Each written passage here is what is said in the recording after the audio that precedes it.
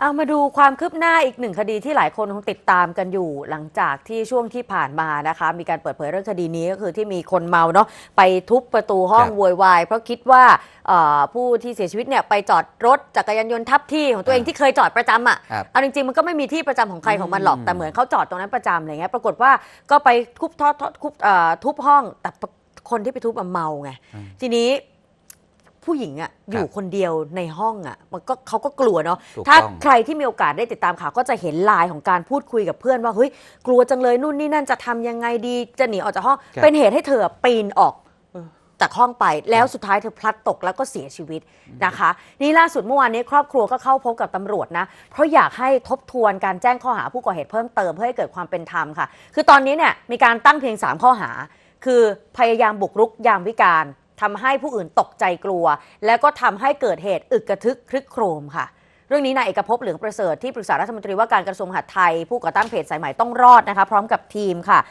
ทนายความนะคะ พานายสมชายพ่อของนิสิตปริญญาเอกที่พลัดตกแมนชั่นเสียชีวิต เข้าพบตำรวจสอนอโชคชัยและเจ้าหน้าที่กรมคุ้มครองสิทธิและเสรีภาพ เพื่อติดตามความคืบหน้า แล้วก็พร้อมขอให้ตำรวจพิจารณาแจ้งข้อหาเพิ่มเติมกับผู้ก่อเหตุ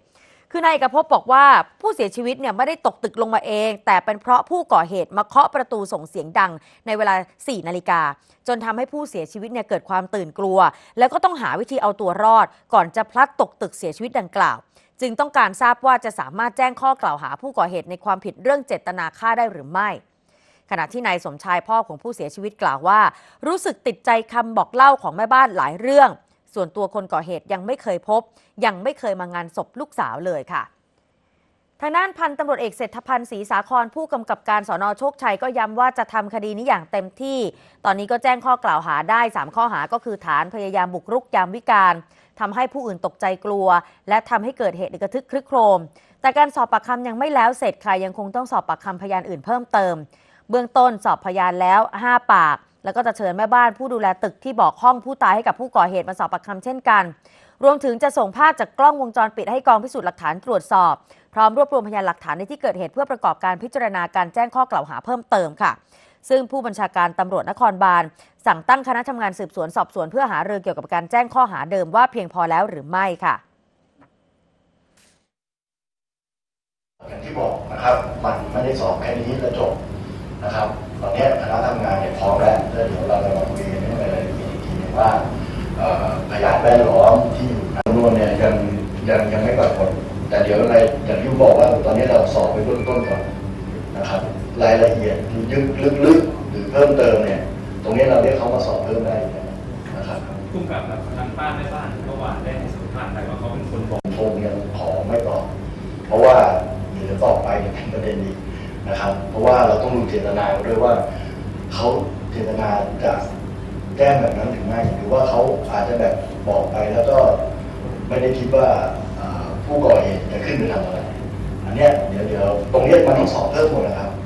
นะครับ ตรงนี้เราไม่ได้คุยกับเจ้าของหอตัวจริงนะครับ เดี๋ยวเรากำลังพยายามติดต่ออยู่นะครับ ว่าเขาจะเยียวยาเบื้องต้นหรือยังไงได้ไหม สำหรับโทษของฐานพยายามบุกรุกยามวิการการบุกรุกยามวิการนั้นถือว่าเป็นสิ่งร้ายแรงที่ไม่ควรทำนะคะ โดยความผิดฐานบุกรุกแขกสถานในเวลากลางคืน มีผู้ร่วมกระทำความผิดตั้งแต่ 2 คนขึ้นไป และมีการใช้กำลังประทุษร้าย หรือขู่เข็นว่าจะใช้กำลังประทุษร้ายจำคุกไม่เกิน 5 ปี หรือปรับไม่เกิน 1 0 0 0 0แบาท หรือทั้งจำทั้งปรับ การฆ่าผู้อื่นโดยเจตนา และการฆ่าผู้อื่นโดยไตร่ตรองไว้ก่อนตามประมวลกฎหมายอาญามาตรา 288 ผู้ใดฆ่าผู้อื่นต้องระวังโทษประหารชีวิต จำคุกตลอดชีวิต หรือจำคุกตั้งแต่ 15 ปีถึง 20 ปีค่ะ เรื่องไม่ควรจะเกิดนะครับค่ะ ทำคดีกันต่อไปครับ